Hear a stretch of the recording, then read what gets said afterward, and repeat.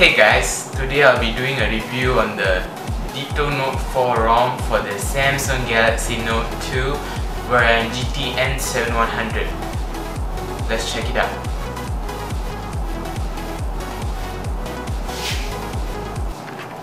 Okay, let's get the main thing out of the way first. This ROM is based on Android 4.4. It's a TouchWiz based ROM. It has the, the Note 4 complete suite is full of all the system apps and features that are software based. Some hardware based ones such as PhotoNote have been ported to this ROM but they don't work as they should because I suspect it's the megapixel count of the Note 2 which is only 8 megapixels.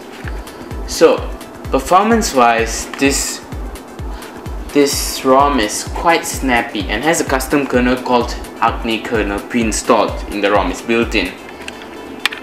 Thanks to this ROM, we have a lot of customization and tweaking, and also many profiles to choose from such as extreme battery safe, battery safe, normal optimized, and gaming. So, and battery life is very great and can be extended even further using the custom profiles. Um, you can get average 4 hours of screen on time with heavy or mid to heavy usage.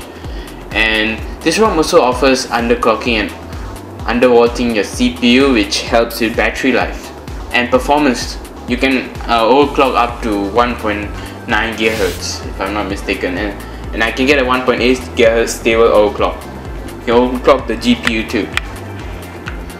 So the important thing about this ROM is you have to install the 5 updates that come after installing the main ROM.